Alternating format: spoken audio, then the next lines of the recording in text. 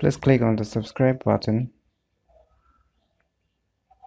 and click on the bell icon to get the latest notifications.